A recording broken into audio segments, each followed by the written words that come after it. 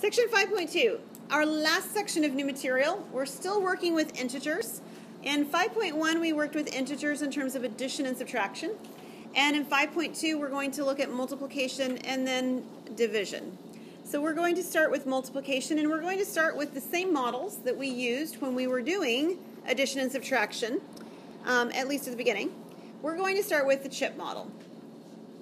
All right, so if we were doing a chip model and you were doing whole numbers, um, so positive values in particular, not even whole numbers, maybe let's talk about natural numbers, um, and you wanted to do something like 3 times 5. Um, you could either think of that as 3 chips put in in groups of 5, or 5 chips put in in groups of 3. Okay? So kind of like our repeated addition idea from when we did do whole numbers. Or you could maybe even think of it as when we did like the array model, right? A three by five array of objects. However, what we're going to be looking at in this section is negative integers, in particular causing problems for that imagery that we were looking at. So I'm going to show you a way to describe or to think about this in terms of those red chips that we were doing. Okay? So we're going to, and you can switch the 4 and the 3 in terms of my description. It doesn't make any difference. I'm just going to pick one. So we're going to pick the first one as being a removal. So a negative meaning to remove. And we're going to remove four groups. Because it's the number 4. So negative for the removing, or the, the word remove for the negative. 4 because it's the number 4. Okay? So if you don't like that, you could say we're going to point out the negative 3 and say remove three groups of. Okay? And then the other object over here is going to be three red chips. 3 because it's the number 3 in that parentheses, and red because it is a negative. So in this object, if this had said negative 4 and it had said times 3, we would say it's removing four groups of three black chips because that 3 would be represent a positive quantity. That's how it would change based on whether it was a positive or negative there, okay? So let's take a look at a circle. So create yourself a circle. And in your circle right now, there's nothing there. Agreed? And what we want to do is we want to remove four groups of three red chips. Well, the only way that's going to happen is if there's some chips to remove. Agreed? So we're starting with 0 and we're going to keep our circle at a value of 0. And we did that when we did some subtraction stuff last class period. Do you remember how we actually put things into the circle without changing what the value was inside the circle? Zero pairs. And just a reminder, a zero pair is a positive and a negative both put in at the same time. Or in the case of this model, a red chip and a black chip both put into the circle at the same time. Now, our goal eventually, and we know looking at this, is to have 12 things in here to remove, right? 4 times 3 is 12. There's no question about that. We're going to have to be removing 12 red chips at some point. So as you're thinking about this, we're going to put in zero pairs, and I'm going to put in 12 black chips and 12 red chips. As long as I put in the same number of them, this is still the value 0. Agreed?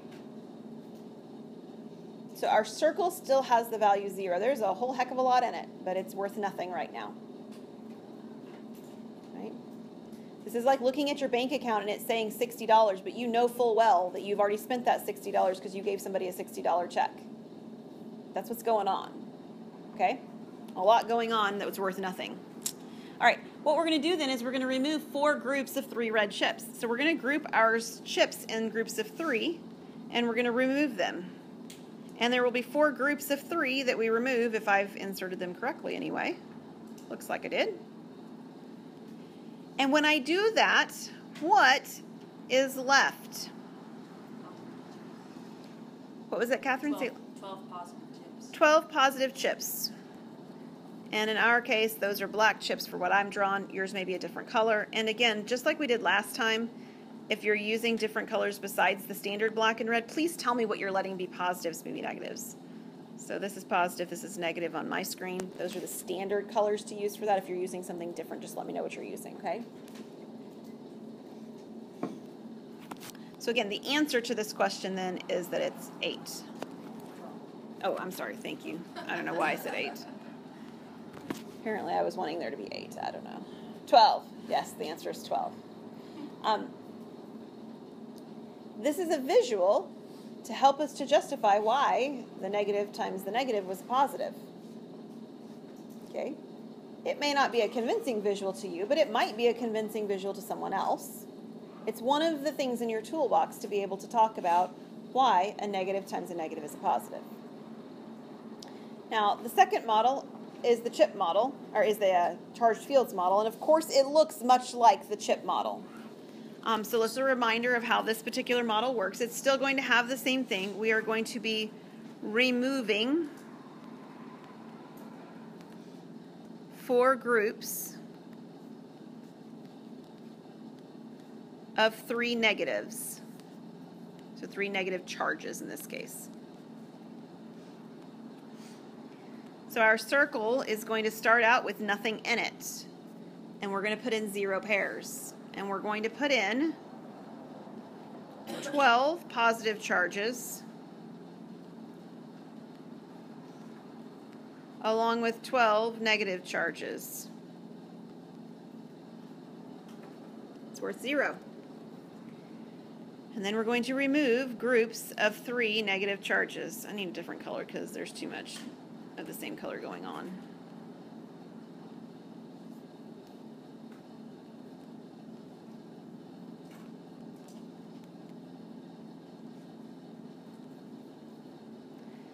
And when I do that, I'm going to be left with 12, not 8, 12 positive charges for an answer of 12.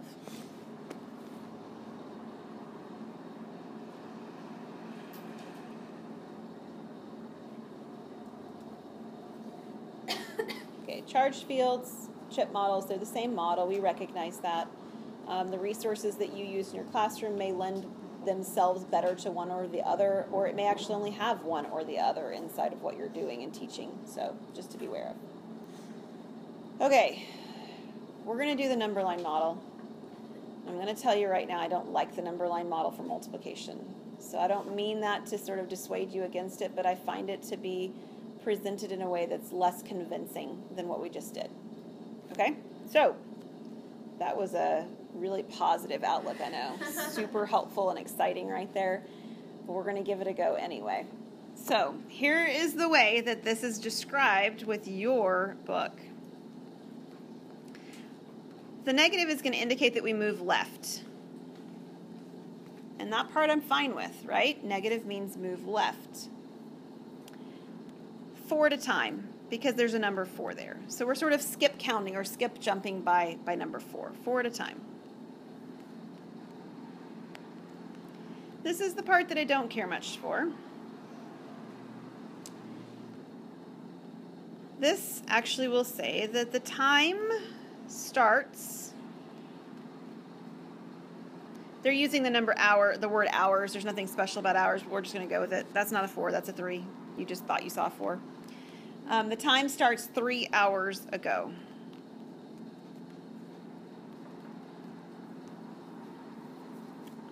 So let me try you visually what it's talking about as it describes it with that language.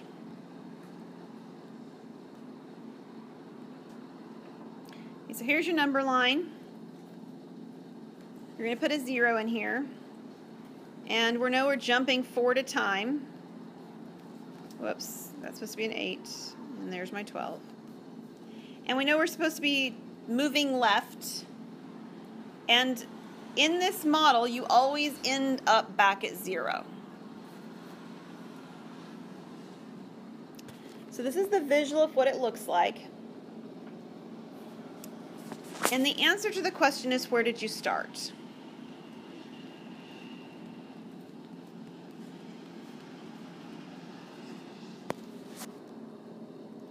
So this is the picture, this is the setup. Let me actually use it with the language in there now that's being used. You're moving left four at a time, and this time is starting 12, or sorry, three hours ago. So you start at the number 12 and you end at the starting point zero. The question is, where did you start? And you started at 12. Now, I don't like this model. However, there is a really good example of it in your book where you can see it being used. And it talks about, um, you'll see, I'm pretty sure it's in your group work, so we'll encounter it in class next time. And it talks about enrollment statistics. If the enrollment in the school or whatever is decreasing 50 students a year, and it's done this for the past three years, how many students has it decreased overall? And the answer would actually end up being a positive because it's a decrease of 150 students. So it has a good application where it's describing it in that way. I'm just not super convinced that the number line gives a lot of um, clarity to what's going on in this particular example. But this is one of them. All right, let's look at a little bit more in terms of integer multiplication. These aren't models, but this is just a little bit more information. A and B be integers. Okay, so positive, negative, or zero. If A is negative and B is negative, so what happens based on what we just discovered or saw when two numbers are negative? They end up being positive. So when we multiply the two numbers together, what ends up happening is it's actually the same as the absolute value of A times the absolute value of B. This is one way of interpreting it. Because they were both negative, when you multiply them together, you get both positives. Another version is you could write it with the A and the B in multiplication together inside of the absolute values and then take the absolute value when you're done. It, it doesn't make any difference. The point is that when you're done, you get positive values. And absolute values, as we discussed in the last section, in section 5.1, give us a positive quantity, right? Absolute value is a positive length, or zero if we've got zero involved, of course. The second one actually talks about what happens when one value is positive, the other one's negative. So for instance, if A is less than zero and B is greater than zero, or if A is greater than zero and B is less than zero. So one positive and one negative. What kind of number do you get then when you multiply them together? You get a negative, right? One's positive, one's negative. So again, in terms of mathematics, to make sure that it's really negative, we're going to write the negative, and then we're going to write the absolute value notation afterwards. Or again, you could write the negative and put them both together inside of an absolute value, and it would mean the same thing. So the answer is the same number you get when you multiply a times b, but then it's negative because one of them was positive, the other one was negative when you were done. Okay? So these are facts these are facts that can be explored and justified with one of those diagrams that we just did. That would be okay. So if you were doing it with a chip model or a charged fields model, you could justify that you do get in fact get a negative or do in fact get a positive. All right, properties of multiplication.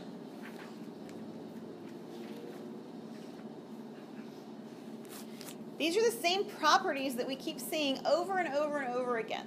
They never change. All right? So properties of multiplication, what does the closure property say? Right. So if you apply it to integers, the way we did to whole numbers, if you multiply two integers, you get an integer, right? You cannot multiply two integers and get a fraction. I don't multiply two integers and get a radical. Okay? So if I multiply two integers together, I will get an integer. So a times b is a, not only is it an integer, is a unique integer.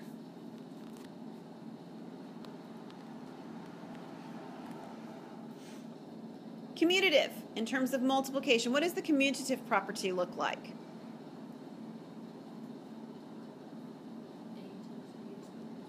Right. A times B is equal to B times A. Commutative switches the order of multiplication. How about the associative property? Somebody else. Be bold. Tell us what the associative property looks like.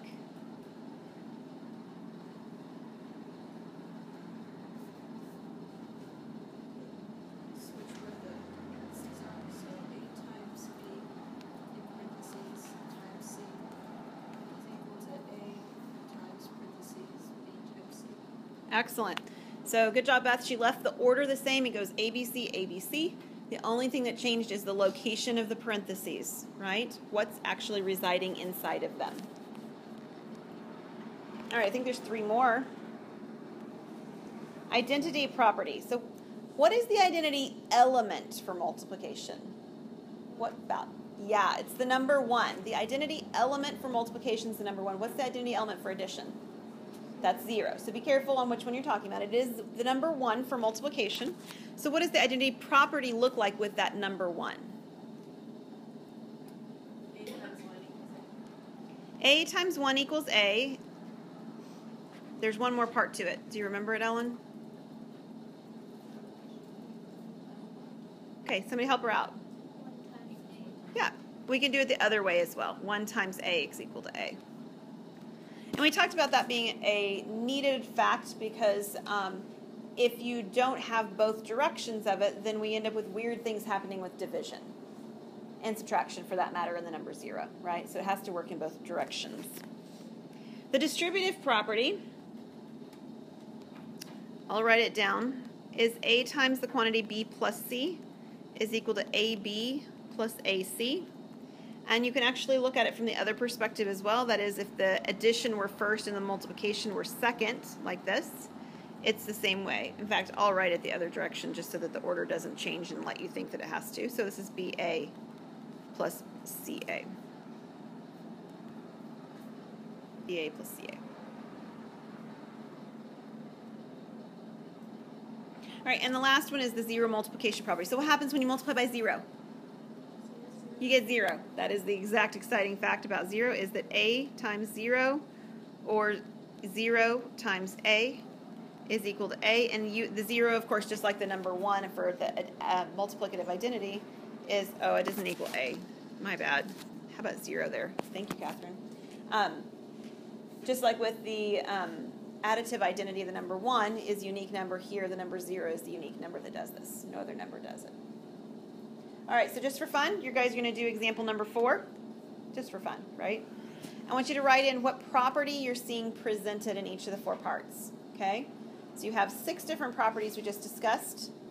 Which identity or which uh, property is evident in each of the four examples that you have? So just jot one of them down. If you need to change it, you can always mark it out.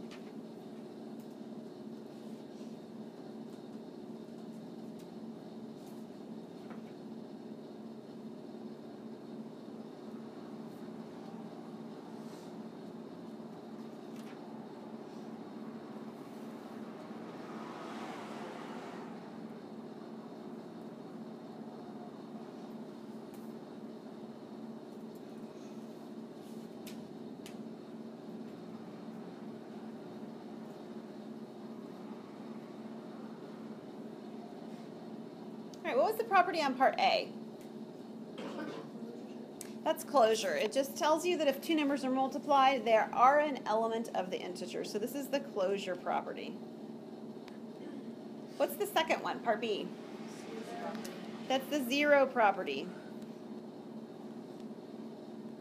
How about the third one, C? Distributive. Distributive, very good. And D. That's commutative. Very nice. All right, just a few more properties and we'll wrap up for today.